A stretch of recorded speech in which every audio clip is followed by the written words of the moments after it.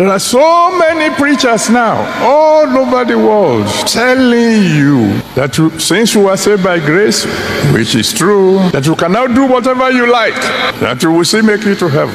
So I want to talk to you tonight. Serious talk. Father to children.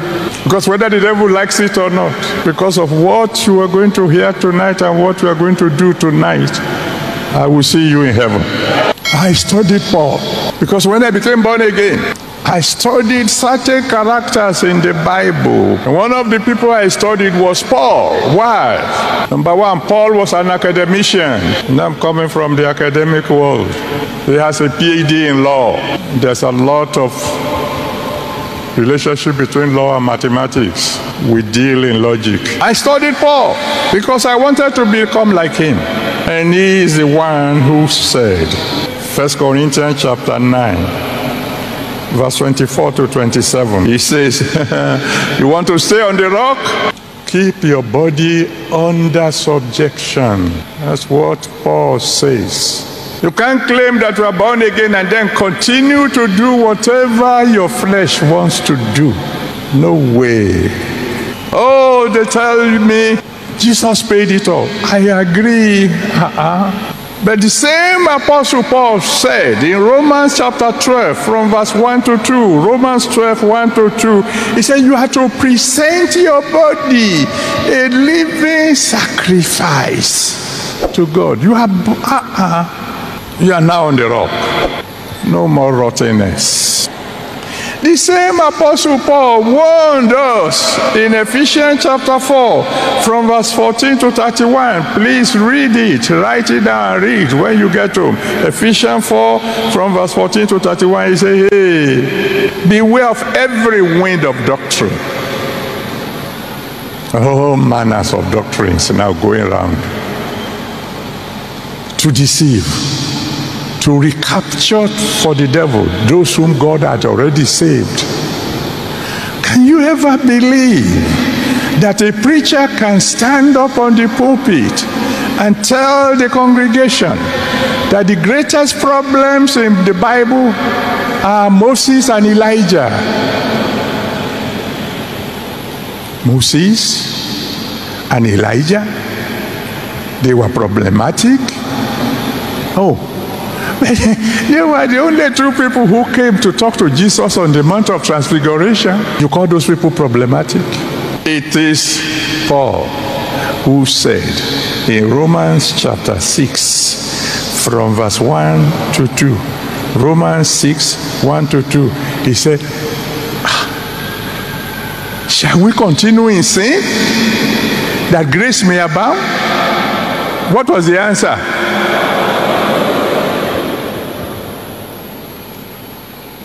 Don't let anybody deceive you. Uh-uh. Anybody who tells you that once you are born again, you can continue to lie, that it doesn't matter. You can continue to cheat, that it doesn't matter. That you can continue to fornicate, that it doesn't matter. It's an agent of the devil.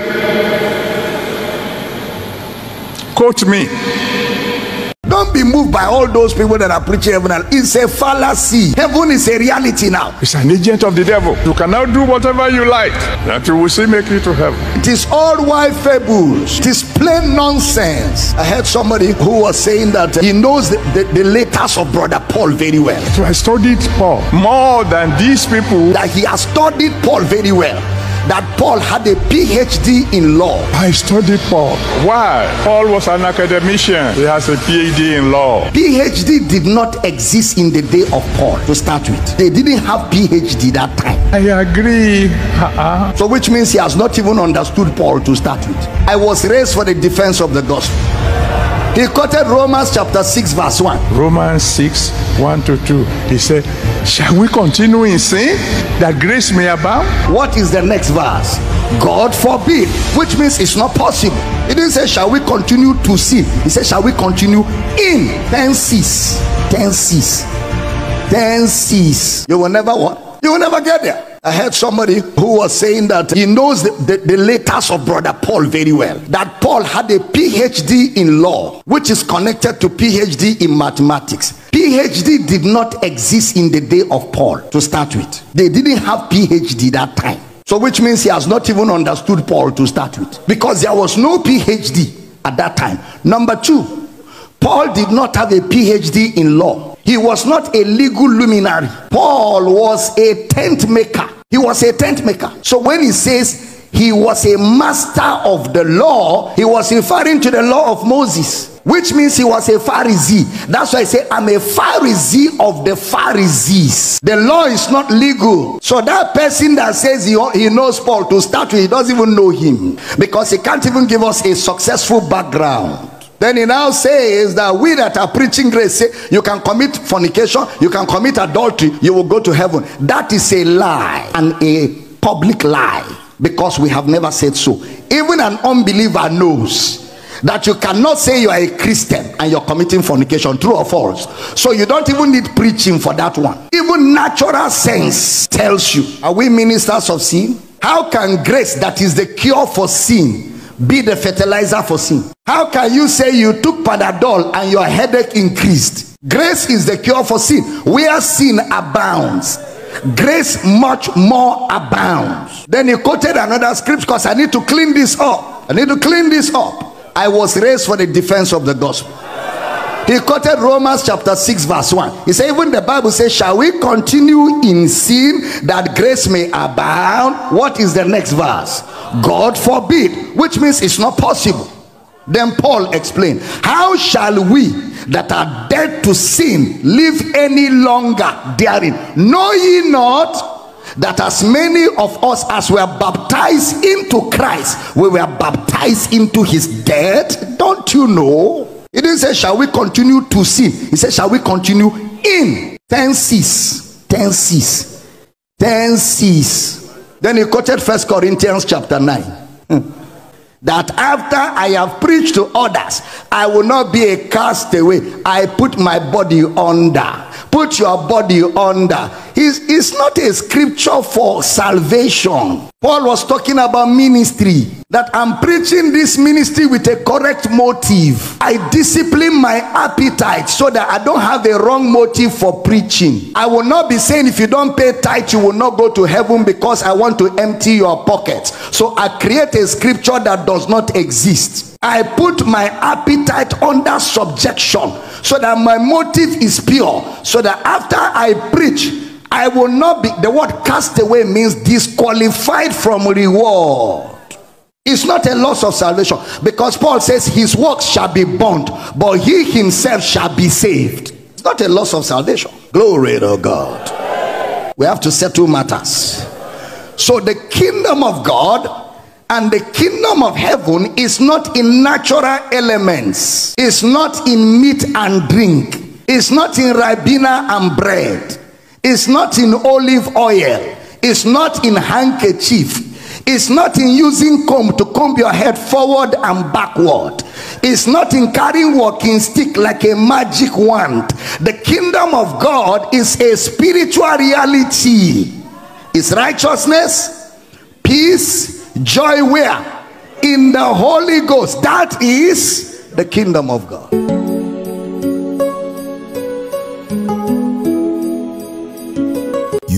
Welcome to the End Time Truth Television, the channel for the lovers of truth, for the truth of the end time. So if you are a lover of truth, give us a subscription and God bless you.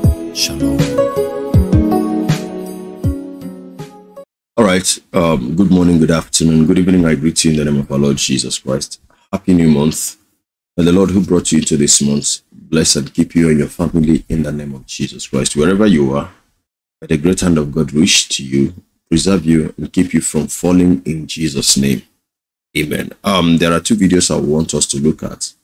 Uh, the first one was what you have listened to, and um, with all due respect, I think that um, Indeed, we will have the video that talks about bitterness, and I think that this whole thing is beginning to snowball into bitterness.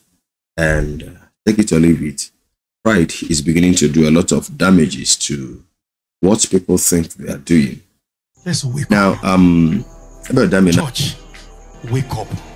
The devil wants to nip us in a corner and is using the bitterness in our soul against each other. Let's wake up while we are now, busy um, fighting ourselves. About Damina, they are responding to Pastor E. Adeboye, even though for the umpteenth time, I also like to say that Adeboye never mentioned anybody's name.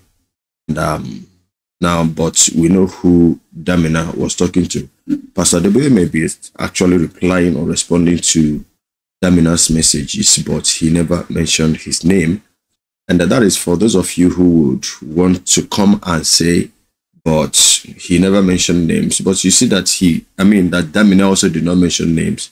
Yeah, he did not, he did not call anybody's name, but the narration in the video tells you who he was talking to. And there is, it is not every one of these pastors. Even tell me which pastor or prophet, those of them that are attacking now, attacking themselves, which one of them has ever come out and mentioned the person's name? They don't mention names. But when they speak, they speak, we know the direction they are, you know, speaking to. Now, uh, having said that, now there was something that Abel Damina said, but then in the end of it, he actually proved Adeboye right. All right. When Pastor Adeboye said that there is a preacher who is preaching that people who live in sin will make heaven.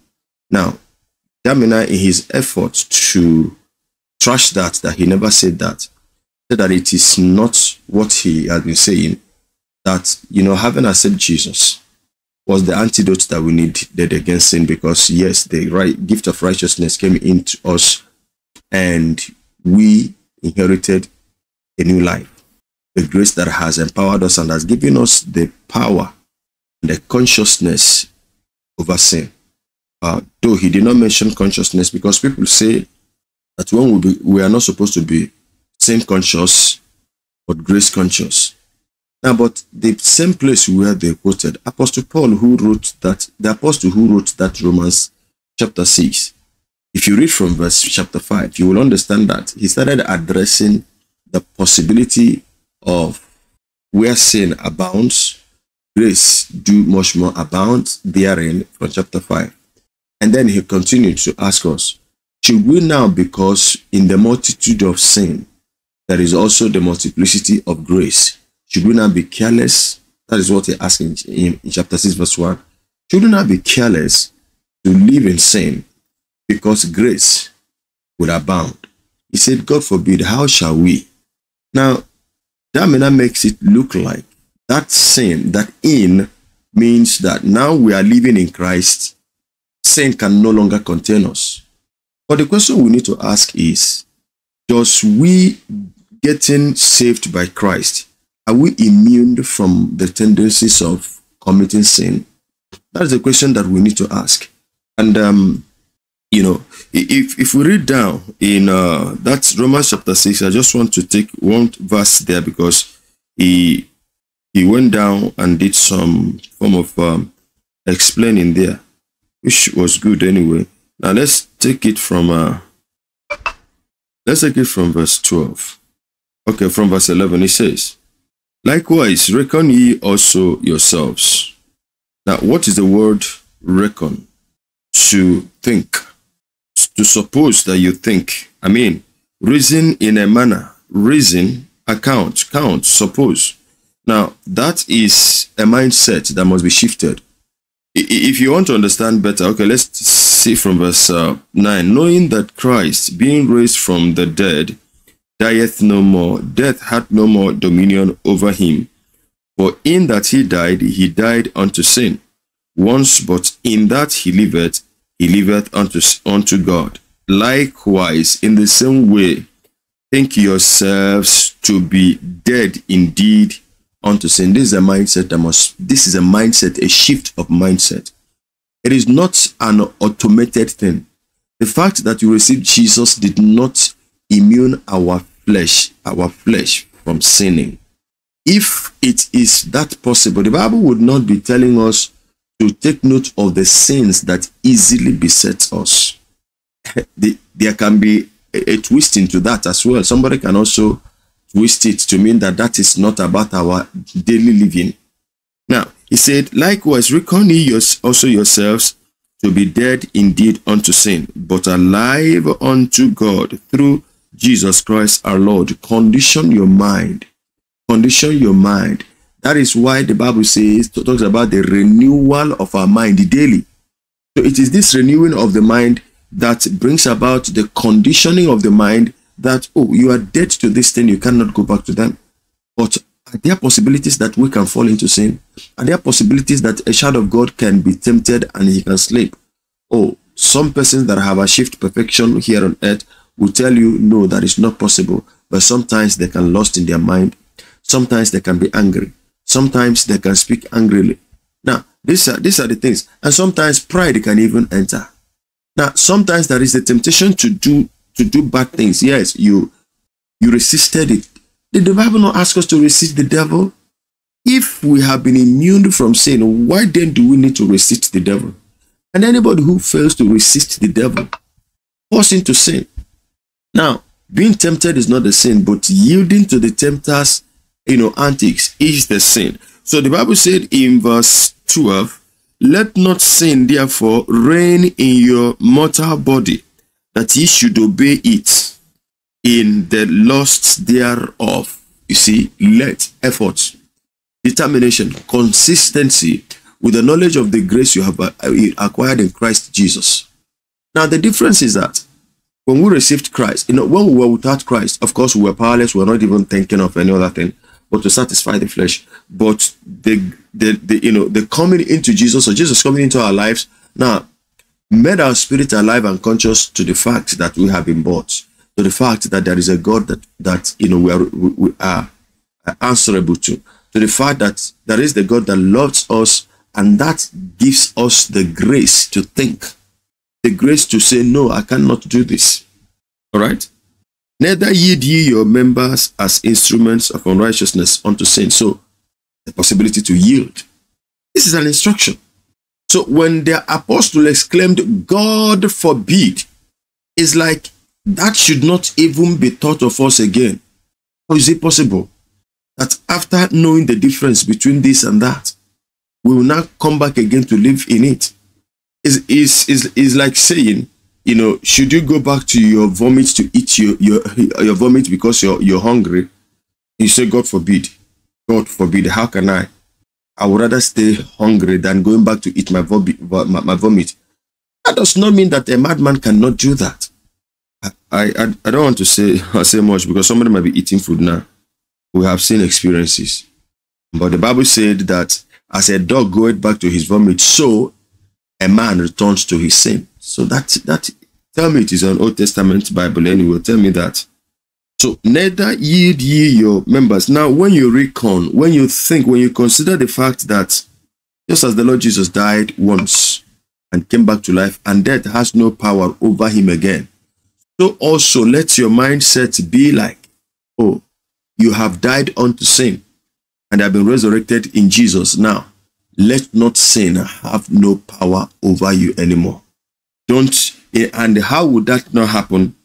How it will not happen is that you consistently not yielding your members as instruments of unrighteousness unto sin, but yield yourselves unto God as those that are alive from the dead, and your members as instruments of righteousness unto God. For sin shall not have dominion over you. Ye are not under the law, but under grace. So sin shall not have dominion over you when you don't yield to him. And remember, the Bible tells us that to whomsoever we yield our members to, we become slave of that person. If we yield our members to sin, we become we become slaves unto unrighteousness, to unrighteousness. If we yield our members to the Spirit of God, now how are we even compelled and commanded not to walk in the flesh? Because if we walk, if we do walk in the Spirit, we will not fulfill the demands of the flesh. These are instructions. So if a preacher does not make these things clear, thank God he said he's not he's not advocating that uh, people should go back and live in fornication and whatever kind of sin. But have you made it clear that those who have received Jesus purportedly and are found also living in the old life that they claim to have left, that their destruction and damnation is hell? You have not made it clear.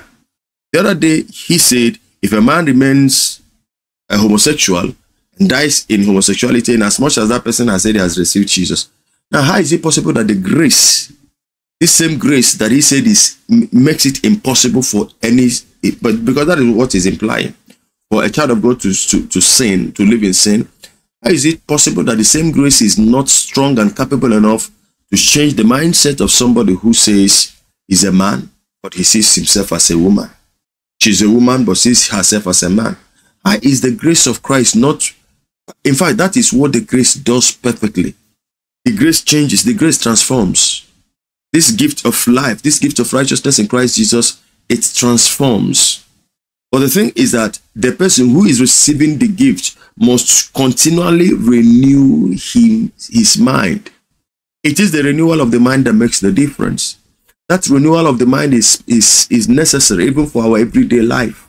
If we must live as victors and not as victims, there must be this, this conscious renewal of the mind, changing the way you think. All right. So I, I, I don't see the reason for all this bitterness. Now, in fact, when we when we when we talk like this, I, I, hope that those of you who are so I don't know how to how to address you people that are obsessed by title. How many times did Damina call Apostle Paul Paul there? Even called him Brother Paul.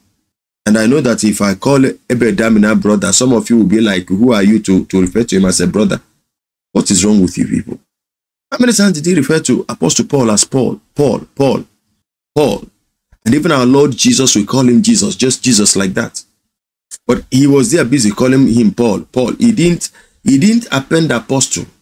Of course, I'm not saying that that that that is necessary, but it is it is a big deal for so many of you, and that is what we are looking at now because the bitterness that some of these preachers are exhibiting, Abel Damina is bitter.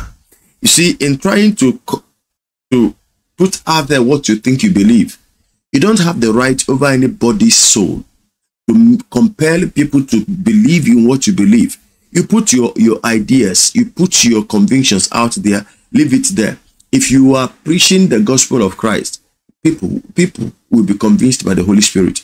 At the same time, if you are not preaching the gospel of Christ, and what you are dishing out is the, the you know the doctrine of demons and devils, of course, spirits also will make people believe it because there are people. The Bible says that this is a time that that people will heap to themselves when they have developed itching ears. They'll heap for themselves teachers and preachers that will tell them what they they like to hear. So it doesn't really matter whether people follow you or not. Now, what matters is do what the, the things you are teaching. Are you sure you're not contradicting the Bible? So now the other thing that I need to uh, address is whether Paul was a lawyer or not, and whether he had PhD in law or not. I think that people should actually relax we're not in a war. We are not fighting against anybody. When somebody made a statement or makes a statement um, that is metaphoric, we should understand that.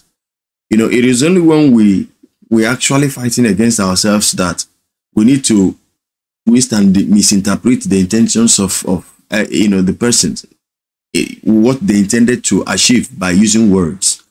Now, then I don't know why I had problem with Paul being a lawyer. Of course, he was a lawyer. Who is a lawyer? A lawyer is a person that studied law or practices law.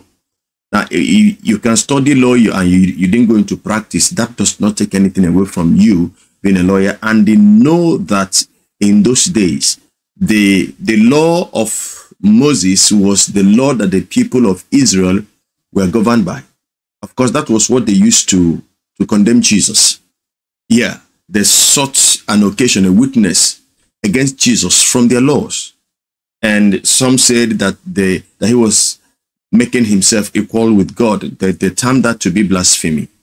So the people of the time where you know it was the law of Moses that was their law, their civil law that time. There was no different law, there was no political law, it was still that same law, you know, and that was the law that Paul, the apostle, studied. So nobody would be termed to be wrong if he classified Apostle Paul as a lawyer. Yes, when he became converted, his main occupation, uh, you know, aside the gospel, was tent, ma- tent making. We have some police officers who are practicing. They are police officers, but they study law. They, they don't have their own chambers now, but they are lawyers. We have actors who are lawyers. They studied law, but they abandoned that and they are into acting. But that does not take anything away from them being lawyers. So Paul was a lawyer. All right. So if anybody said Paul was a lawyer, you don't have anything against it because he didn't study the law according to the, the constitution of Nigeria or the constitution of, of UK. What they had in those days was the law of Moses that you you referred to, right? And in First Corinthians chapter 9, verse 27, there is, please, uh, I will I will beg you, read the Bible for yourself. Read the Bible for yourself. See, my heart bleeds for those of you. I really I feel so I feel saddened in my heart, and I don't know how to communicate this, but I hope that the Spirit of God will show mercy to you. Of course, I've just said that it is not a must to accept anything that anybody says. But please, can you cross-check with the scriptures? It is it, it is possible for people to be speaking big grammars, dictionary things out there. But have you verified? Have you verified when he interpreted the what it means to be a castaway? Told you it is not about salvation, that you cannot lose your salvation. Now, it is the same person that is telling you that he is not asking you to continue in your sin. Then what motivation is he giving you when he assures you that even if you are continuing your sin, you cannot lose your salvation? What is he saying? Is he not contradicting himself? At the end of the day, he ended up proving Pastor Adeboye right. Now, that First Corinthians chapter 9, verse 27, let us read from verse 25. And every man that's, that's private for the mastery is temperate in all things. Everybody that is competing for a prize has self-control, is disciplined in all things.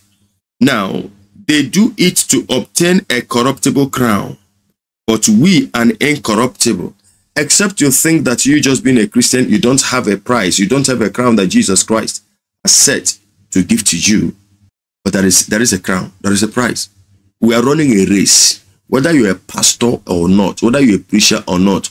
We are running a race that at the terminal point, we shall receive the crown or as those that have conquered and won the race. I is telling you that for you to be rewarded, crowned, there is need for discipline. Your flesh will demand so much from you. Don't listen to anybody that tells you that being born again takes away the, the possibility of you sinning. It is a lie. It is not true. Brother, it is not true. Do you know that when Apostle Peter behaved hypocritically in in um, in Galatia, where Paul reported that he he rebuked him. Don't you know that that was sin, hypocrisy? It was a condition of the mind, living a double life. That was sin. All right. Now, when the Lord Jesus was sending out the people, when he breathed upon them, gave them the Holy Spirit by impartation, Judas Iscariot was one of them that received the Holy Ghost. Yeah, we, we can say he was not born again, but at least he was among those that went out to cast out devils. And even when the Lord Jesus was saying that they should rejoice, not because demons obeyed them, but they should rejoice that their names were have been written in the book of life, he didn't say except Judas. Demas was once a partner in Paul's ministry with Paul. He was once a partner with Paul. But just uh, let, let's let's let's just continue. He says in verse 26, I therefore so run not as uncertainly, so fight I, not as one that beateth the air. The first, the first responsibility of every believer, whether you're a bishop or pope, the first responsibility is your personal life. That is the race, your personal lifestyle, that which makes you close to God. That is the race. Preaching or no, or you know, being a, a preacher or not a preacher, as in by, uh, by implication, a pastor or whatever, general overseer, that is aside. Now, every child of God is running, that is a personal thing. So that was what Apostle Paul was trying to pass to these people. Therefore, so run I. Because we are all in the race. Whether you were born again yesterday, got, got born again 40, 50 years ago before my mother was born, and you're still alive here, it is still a race that we are running. So Apostle Paul said, every man that striveth, now every man. In verse 20 it says, so as every man is running with discipline, so I therefore run, not as uncertainly, not as a person that does not know, you know, that is not sure of what he is aiming at. It's not like the one that is beating the air. He said, so run not as uncertainly, so fight I, not as one that beateth the air. Some of us don't even know our direction. Some of us don't even know. Now, you listening to me, if you are not, if, there are some of us that don't even know if we are born again, if we're saved. You don't even know if you are going to go to heaven. So he has told us that there is nothing like a locational heaven. Well, listen. Verse 27 says, But I keep under my body and bring it into subjection, lest that by any means, when I have preached to others, I myself should be a castaway. Now listen, this might not be literally, you know, may not be interpreted as literally having preached just by being the virtue of being an apostle. By your virtue of being a Christian, so you confess to people, and people knew you as a Christian, your life has been observed by many. Now, how will it be that on the last day, those that knew you as a Christian will look at you and you are in the same place with them? Those that you have told, you have bragged for, that Jesus is the giver of life. That without Jesus, nobody goes to heaven, nobody have, has eternal life.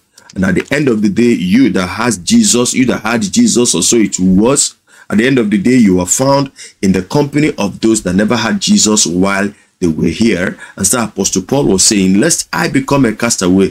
Damina explained that castaway out. Please let us look at the meaning of that word cast away. It is um, G96 of the Strong's Concordance. Adokimos as a negative party, particle, by implication, unapproved, that is rejected. Uh, okay, unapproved, that is rejected by implication, worthless, literally or morally. Cast away, rejected, reprobate, rejected, cast away. So he is telling you that what Apostle Paul meant was that that being cast away, not being after preaching, he would be denied his reward as a preacher. No, no, no, no, no. Cast away means cast away. It can also be interpreted as rejected. Rejected. So it, this word, King James Version, it, it occurs in it called in King James Version six times as reprobate, cast away once, rejected once, eight times in eight different verses. All right. Now, what I'm trying to do is, um, I'll put it out there. I'm, I'm just like I'm putting it out here now. Uh, it is left to you to accept it. But mind you that bitterness is destroying some fabrics of the Christian faith. And what it is doing is that even some some followers are towing the path of their pastors. Now, this clip, I found it in a channel of a person I believe is a follower of Abel Damina. Look at the caption he gave it to it. The meaning the person he believes is in competition with his with his own idol, Damina. But that is what you know it is creating. And Femi Lazarus has something to say yet on what is happening in the church. Let's wake up. Church, wake up. The devil wants to nip us in a corner and is using the bitterness in our soul against each other. Let's wake up while we are busy fighting ourselves. The devil is doing, they are playing fast one, fast one. We look at songs that people were singing and were crying, breaking out in tongues, breaking out, accepting Jesus in different nations, accepting Jesus. We say it's not doctrine. And while we are busy, confused, which one is, which one is not? Those who are singing the yaga yaga yo, they just keep producing. Nobody's complaining if that is doctrine. They have been field day. Christians are now deleting songs that once set them on fire. And we are not aware that the devil is on our matter. Let's wake up. The word for this season, stay focused. Advance unapologetically. Let those talking do the talking, those walking do the walking. Unapologetically. Don't wait to explain yourself. The name of Jesus will surge and be made famous through you. We have come to that season that there's going to be new, strange, but audacious voices. People forged and prepared by God Himself. The church will no longer be referred to as mushroom centers. God is raising people that will change the narratives. What God wants to do with you, even you won't believe it. Don't look at where you are, look from where you are. Do you know what the devil has always used to limit the church? It is the attempt to fix God into a box. We have battled with this for over 50 years in the move of God in Nigeria. We come back to the same point again in a tush way or in a local way that what God just wants the church to do is about the gospel. Uh, yes, it is, but there are mountains to be taken. While we are just getting strong on microphone, darkness is pumping people in a place where they can make one policy and all of us will drop our mic. I make bold to tell you, not everybody here will hold the mic. Some of you will be Esther's in the palace. Because of you will survive. Because God will strategically place you somewhere. It will place you there as his own strategy.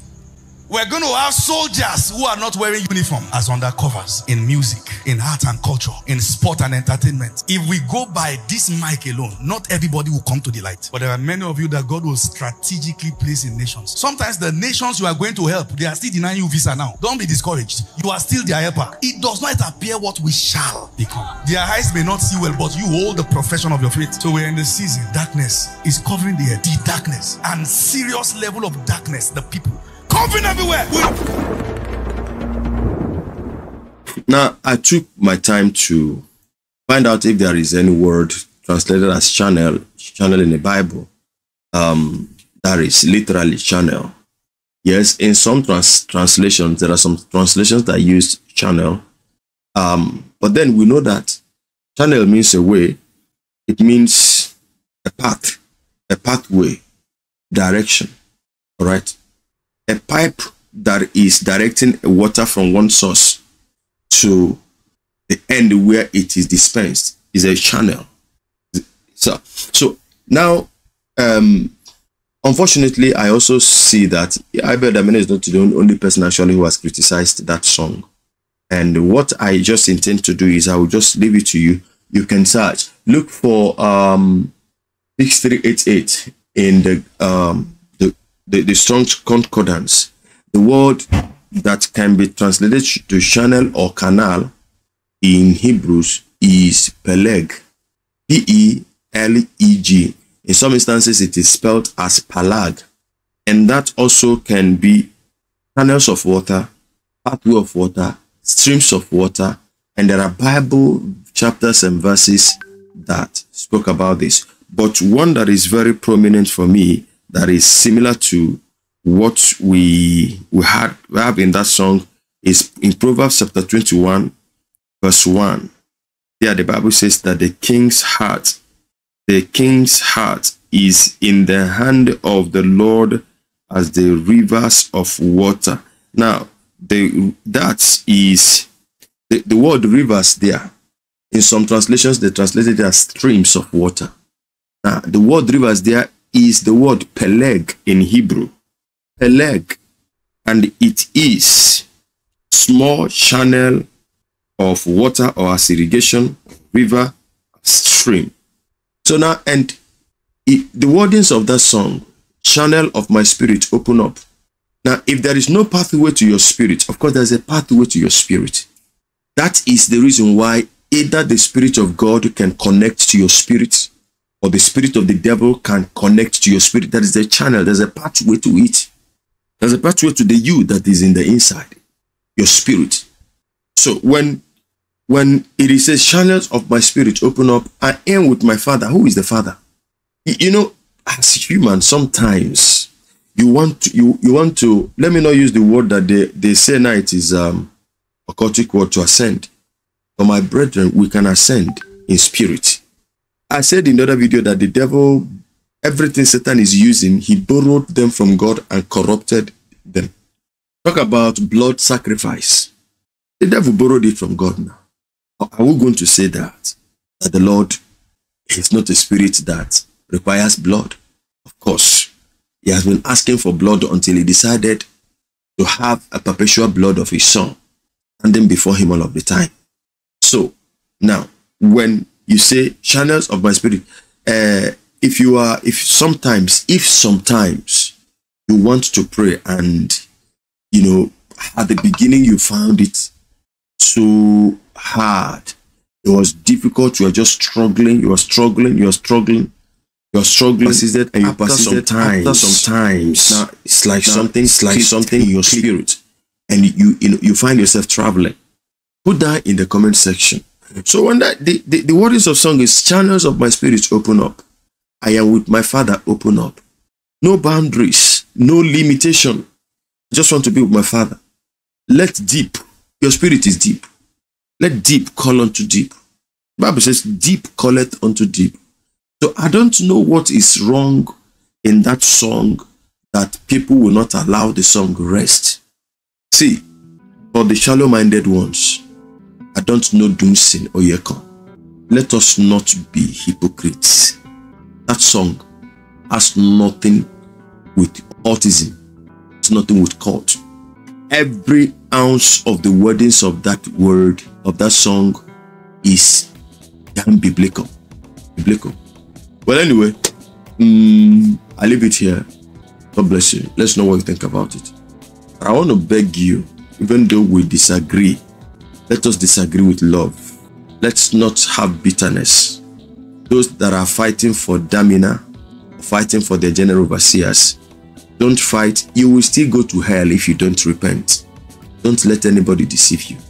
Jesus says, Except ye repent, ye shall all likewise perish except ye repent, ye shall likewise perish. I don't have strength for those that twist the scripture. Don't have time for you because there is no scripture that you give to them that they don't have what to use and twist it. The ways of an apostate is a very difficult one. They are reprobates. See you in the next video. Till then, from me to you. Shalom.